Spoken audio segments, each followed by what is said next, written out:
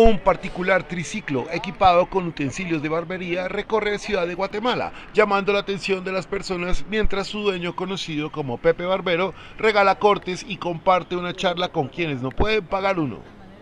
Bueno, esta es la bici barbería Pepe Barbero. Es un proyecto que va a andar en las calles de Ciudad de Guatemala y sus alrededores, aportando cortes gratis para todas las personas de a pie que lo necesite. En una calurosa mañana de esta semana, José colocó su vehículo bajo la sombra de unos árboles en el centro de la capital guatemalteca, previo a instalar su silla de barbería y atender gratis a quien lo quiera.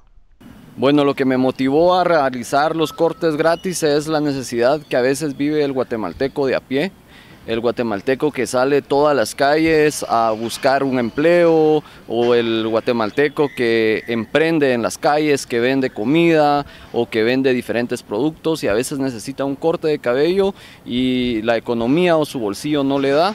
Entonces para eso está diseñada la bici barbería Pepe Barbero, para esos guatemaltecos que día a día queremos salir adelante. Para este peculiar barbero son pequeñas acciones las que pueden ayudar a los guatemaltecos a superar las penas económicas.